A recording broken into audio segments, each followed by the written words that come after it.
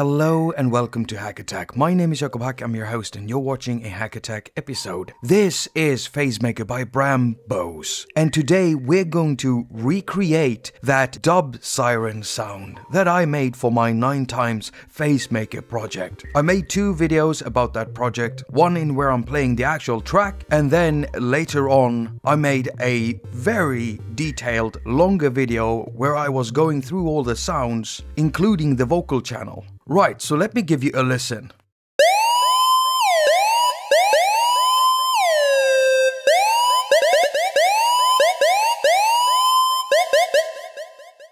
It's a very powerful sound and it really cuts through the mix. It's not only the synthesizer itself that makes this sound so powerful. It's actually a combination of a compressor and Phasemaker. So stick with me and I'll show you how it's done. Let's mute the original siren and unmute this clean instance of Phasemaker.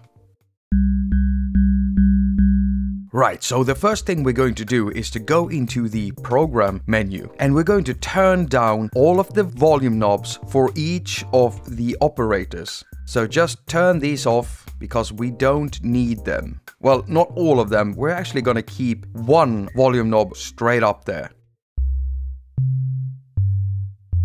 And now we've got a single operator running a simple sine wave. And we can see that by opening up the first operator. And here we're going to start by choosing the right type of waveform. Right now we've got a sine wave loaded and we need a square waveform. And the way you change waveforms is you simply tap it until you end up at the type of waveform you want. And there we are, square waveform loaded and it sounds like this. Okay, so right now it's at a very low octave and we need to get that up. And the way to do that is to tweak the coarse knob right here. And we're going to keep the ratio on. While I'm tweaking this, you'll be able to see in this window what number I'm gonna end up at.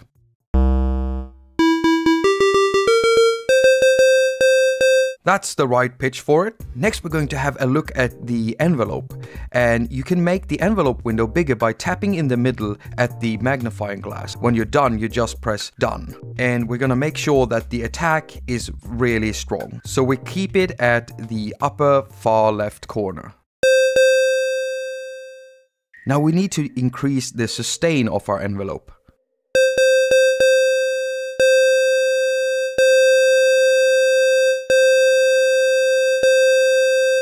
And we can also make the decay a bit shorter.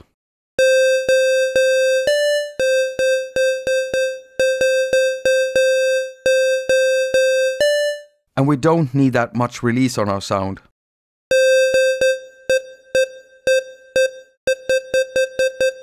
That sounds about right. Press done when we're done and now we can give our sound that jumping pitch characteristics. And to do that, we need access to the pitch envelope. And you can find that in the program menu right here.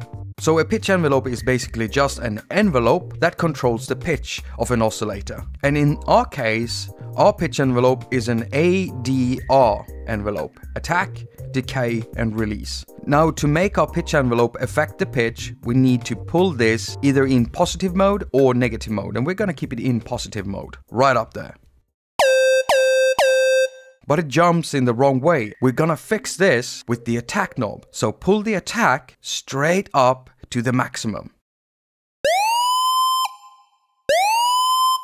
And then the decay. Now it's got the right sound.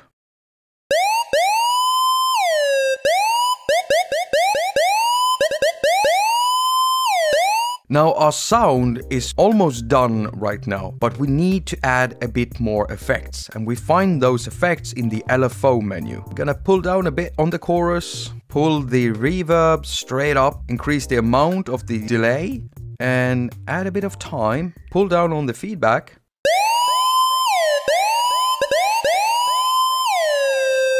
So we are done with the sound inside Phasemaker, but we're not done with the overall sound. There are two components to this sound, as I mentioned in the beginning, and it's Phasemaker itself and then a compressor. Now I'm using Cubasis here, but if you're using any other type of DAW, then I'm sure you'll find some compressor, and if it doesn't have a compressor, you can always use a compressor plugin. So I'm gonna load up Cubasis own compressor. This is the threshold level and what the threshold does is it tells the compressor when to start working. For our dub siren, we need to overdo this, squash it completely. Now if you're using Cubasis, when you load up a new compressor, always make sure to pull down the output volume because automatically it loads the compressor at 10 plus decibels, which could kill your ears. So the settings for the compressor is a pretty high ratio. We really want it to be squashed.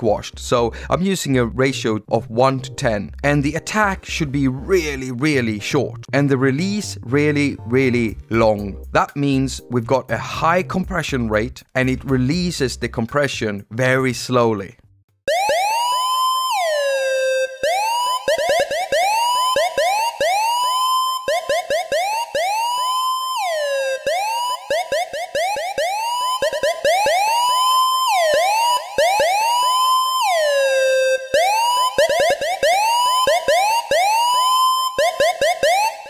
Now that is a sound you'll be able to hear through any mix. Even if you pull the level down, you'll still hear it, which also makes it a bit hard to mix sometimes. Thank you so much for watching. All comments and ratings are very much appreciated. I've also got a Patreon page, so if you want to support me in that way, you can find the address right here and you can also find it down in the description together with an app link for Cubasis and an app link for Brambose's Phasemaker. Now, if you somehow missed the 9 times Phasemaker project I made, you can find it in the box to the left here. And if you want to know more about that project, you can click on the box to the right. As usual, I wish you a very productive week. Now go finger all of your stuff and have a lot of fun doing it.